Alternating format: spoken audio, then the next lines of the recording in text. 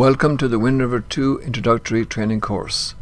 My name is Dan Murphy and I work in the Field Service Department at Teledyne RD Instruments where I respond to customer emails and phone calls regarding Teledyne RD Instruments products. I have been with the company for 10 years. Let us look at the big picture. WinRiver 2 is TRDI software that is used to collect data from an ADCP, display it and produce a report. It can collect from any one of our ADCPs. What we're showing here in the top left hand corner of the screen is a RiverRay. This is the latest ADCP from Teledyne RD Instruments and can measure water up to 60 meters deep. Next down is a Stream Pro. The Stream Pro is used in shallow water up to 6 meters deep. Both of these instruments are using a Bluetooth connection as the mechanism to transfer the data in real time to the laptop that is running WinRiver 2. This same connection allows WinRiver 2 to configure and control the ADCP as well as to collect the data. Next down is a Rio Grande. The Rio Grande uses a cable connection to the laptop. Instead of using this cable, some people have added a set of radios that allow for greater distances and more flexibility than using a cable. In recent times, some people have used a Bluetooth connection instead of the radios. Although the Bluetooth connection is less expensive, it also has less range than the radios. Further down on the left side is a GPS. The GPS provides a means to map your track across the river and can also be used should there be a moving bed condition. The GPS can be connected directly to WinRiver 2 as shown in the diagram. In the case of the Stream Pro or RiverRay, we will cover these connections in a later slide. A depth sounder is an option that can be used in situations where there are high sediment concentration levels or the bottom is soft. As of fall 2013, the RiverRay will have a vertical beam that can be used in lieu of the depth sounder.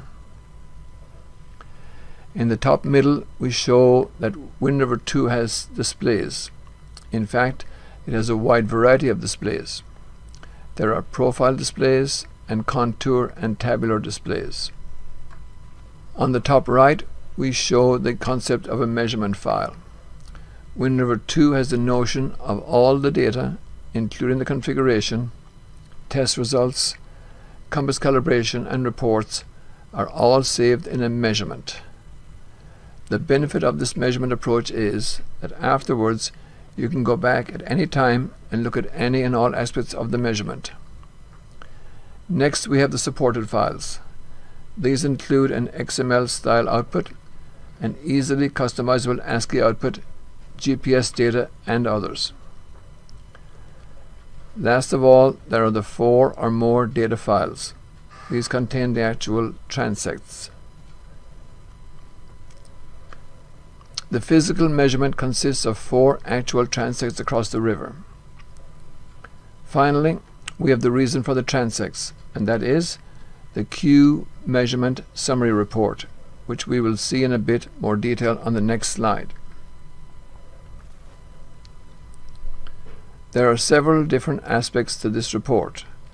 Some contain information that was inputted by the operator, such as physical location, who collected the data, etc. Other portions contain information that was interrogated from the ADCP, such as ADCP type, frequency, and serial number. Finally, on the bottom are the discharge values for each of the individual transects, including the mean of the transects. The river discharge is in cubic meters per second, or can also be displayed and reported in cubic feet per second.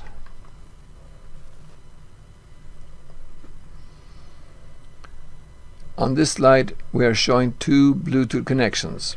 The one on the bottom is for the ADCP ensemble data and the one on the top is for the GPS data. A separate Bluetooth connection is needed for the GPS data to ensure that there is no latency in the GPS data.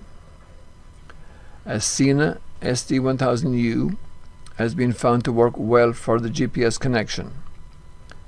For the ensemble data connection, any Bluetooth device with ample range will work.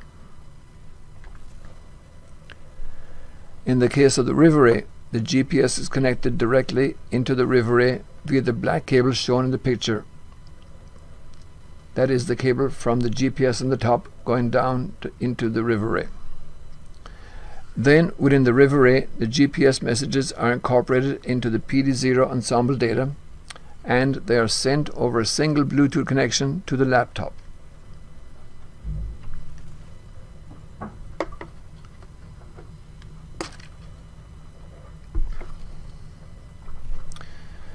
Direct support of the Stream Pro. Using a Bluetooth connection on your laptop enables WinRiver 2 to collect data from the Stream Pro.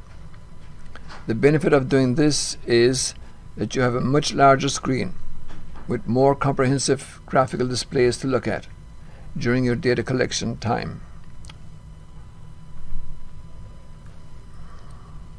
With WinRiver 2 you can open StreamPro data files directly within WinRiver 2. Essentially, WinRiver 2 will take the configuration files, the data files, and import the data into a newly created measurement file. There is no need to use the program called INI2XML that we had some years ago. WinRiver 2 allows you to view and scroll through the entire data set. Lastly on this slide is the ability within WinRiver 2 to have a terminal session going that will allow you to interact directly with the ADCP instead of having to use BB Talk. However, BB Talk is more comprehensive. Should you happen to be using BB Talk, you will have to shut it down in order to allow you to communicate with WinRiver 2.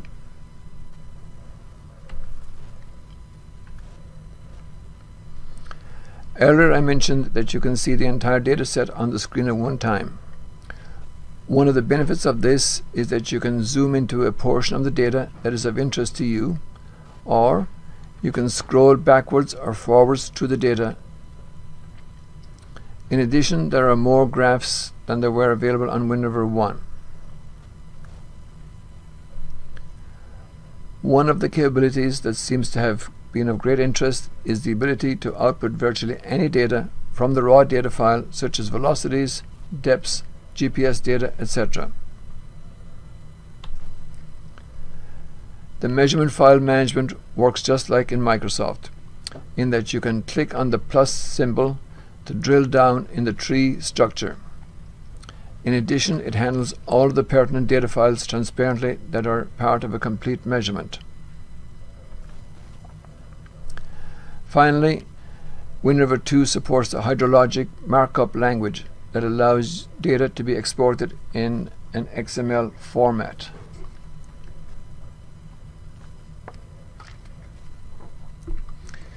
The configuration wizard has been expanded to include StreamPro and direct access to mode 12 for the advanced user. In addition, it displays the instrument frequency and serial number. There are built-in tests for the River the Rio Grande and the StreamPro. There is a moving bed test and loop test capability and we will cover these abilities uh, in the next presentation.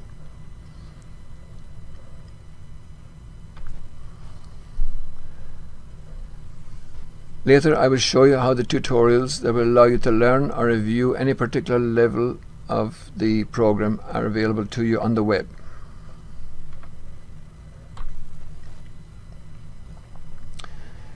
This screen is the de facto home screen. You may change any and all of the panels as desired. We will elaborate on these panels later. On the next slide we will zoom in on the Earth Velocity Magnitude Contour which is the bottom large panel on this page. This is the velocity contour plot all by itself. It shows a cross section of the river where a transect has been taken. The solid black line represents the bottom of the river. Above it, the skinnier black line represents the side lobe cutoff area.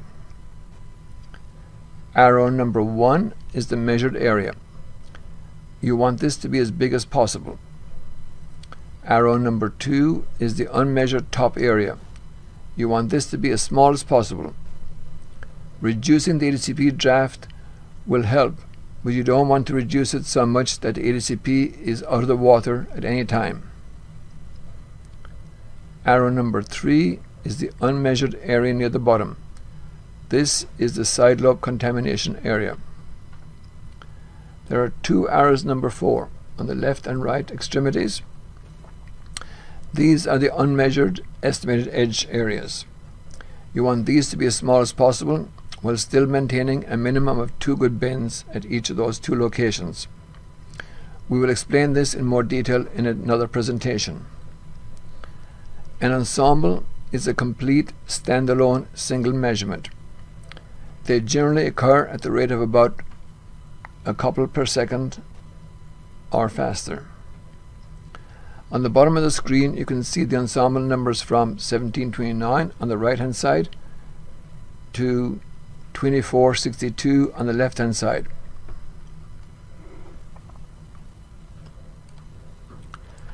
The slider in the middle between arrows number 1 and 2 is covering a single ensemble which has measured velocities that are basically green in the neighborhood. Based on the scale of the velocities, they are in the 0.7 to 0.9 meters per second range. The little boxes with different colors are the individual bins within an ensemble. There are many bins per ensemble and each is a separate independent velocity and direction measurement. TRDI interchangeably uses the words bins and depth cells. They both always have the same meaning.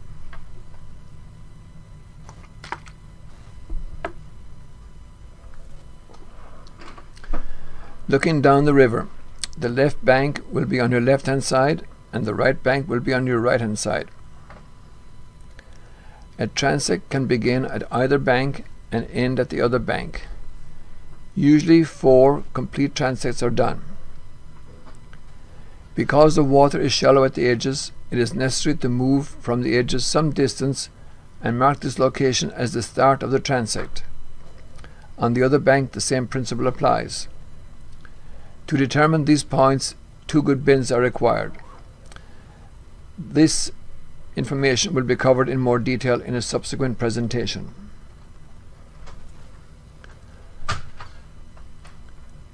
These tutorials are downloadable from the documentation portion in the support section of the website.